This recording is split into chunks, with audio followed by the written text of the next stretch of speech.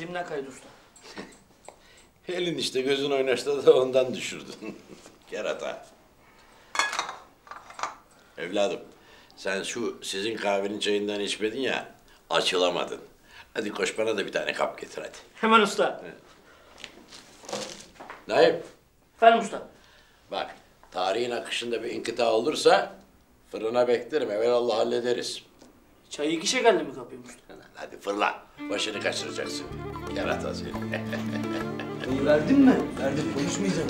Ben, ben parayı Selamün aleyküm kahve milletinin insanları.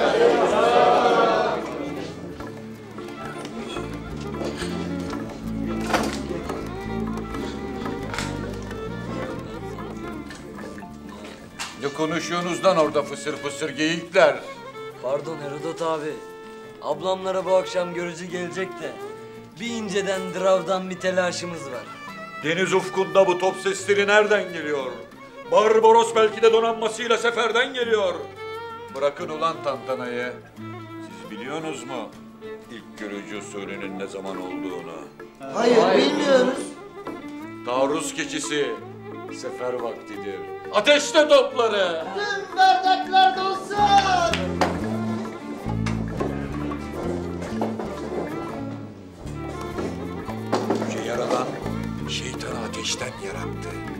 Sonra insanı yaptı topraktan. Şeytana dedi ki git insanoğluna secde. Şeytan terbiyesizi efendim ben ateşten yaratılmış bir şahsiyetim. Topraktan yaratılmış birine secde bikeyemem dedi. Şerefsiz. Allah da bu terbiyesizin önüne gidenini cennetten kovdu. Halbuki o zamana kadar cennetin bir numaralı adamıydı. Neyse abilerim, Yüce Yaradan bir baktı ki topraktan yaratılmış Adem öyle bir köşede melül masum boynu bükük duruyor. Ne yediği elmadan bir tad alıyor, ne armuttan ne muzdan.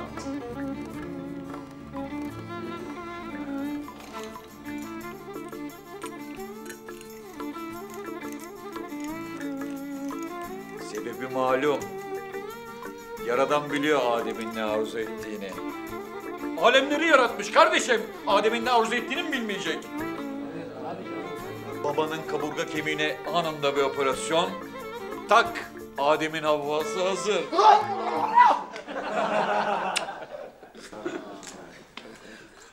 Arkadaşlar, dikkatinizi cebledelim. Çok önemli bir konuya temas ediyorum. Adem'le Havva artı ve eksi meselesinden naşi birbirlerine yakınlık kesbediyorlar. Bir elektriklenme oluşuyor. Bu arada şeytan yılan kılığına giriyor. Gerçek adı Lucifer. Yılan olduğuna bakmayın. Terbiyesizin önde gideni. Böyle yerde bir kıvrılıyor, bir sürünüyor. Aman kardeşim, bir diklenmeler, bir çöreklenmeler gören görmeyen tırsıyor. Allah belasını versin. Zaten süründürüyor, daha ne yapsın? Şeytan sinsice elma ağacının üzerinden en romantik dakikalarını yaşamakta olan Adem ve Havva'nın yanına iyiden iyiye yanaşıyor. E Havva anamız kadın tabii tırsıyor yılandan. Yılan tıslamaya devam ediyor. diyor. E zannedersiniz ki Python. Tamı tamına bir ton. Kuyruğundaki çıngırağını çıkı çıkı çıkı çıkı çıkı salladıkça Havva kurtar beni kocacığım diye Adem'in arkasına saklanıyor. Adem Havva anamızı kucakladığı gibi korkma karıcığım. Yılandan korksazlık trene binmezdik diyor. Akabinde düşünüyor. E peki biz nereden karı koca oluyoruz? Daha evlenmedik ki diyor. Şeytan iblisi Adem'in düşüncesini okuyor. Elinde kıpkırmızı, kocaman yaldır yaldır yanan bir elma ile beliriyor. Bu elmayı yerseniz karı koca olursunuz diyor. Yeme, yeme, yeme. Yılan aynı zamanda da şeytan. Cebinden çıkardığı çakı bıçağından elmadan bir dilim ona, bir dilim ona kesip ağızlarına veriyor. Sonra da hadi bana eyvallah diyor, çekiyor gidiyor. Adem o anda yıkıyor işe. Aga diyor bu işte bir Ali Cengizlik var. Ama tabii kadın milleti bu. Bir dilimden ne olur kocacığım diyor. E Adem de erkek. Onun da canı çekiyor meyveyi. Elmadan diye böyle bir ısırıyor. Bir anda çırılçıplak anadan yürüyen vaziyette kalıyorlar. Hemen en kral cennet incirlerinden birer yaprak koparıp edep yerlerine koyuyorlar. O sırada yaradan inin oradan aşağıya diyor. Gözlerini bir açıyorlar ki Belgrad ormanları gibi bir yerdeler.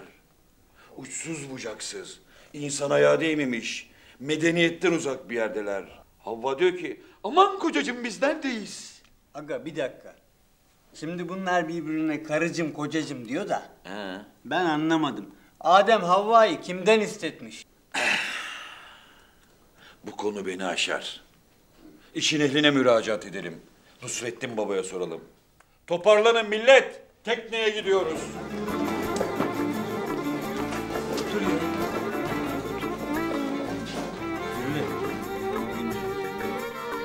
Eniştemin kuponu bana vermeyeceği belli. İşe ayıkmış.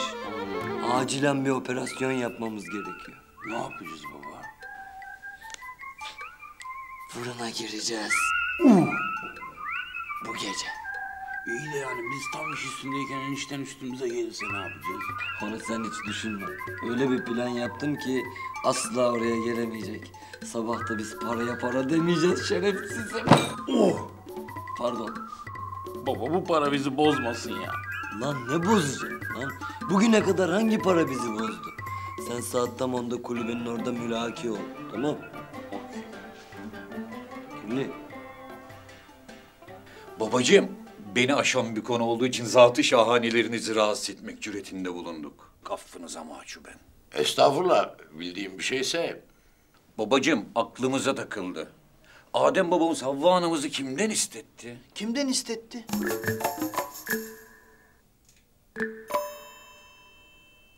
kimseden istetmedi. İzinsiz aldığı için cennetten kovuldu. Adem dişini biraz sıksaydı Cenab-ı Hak zaten Havva'yı Adem'e verecekti. İşte o gün bugündür ki erkekler kadınları hep istemeye mahkum oldu. Baba, büyüksün.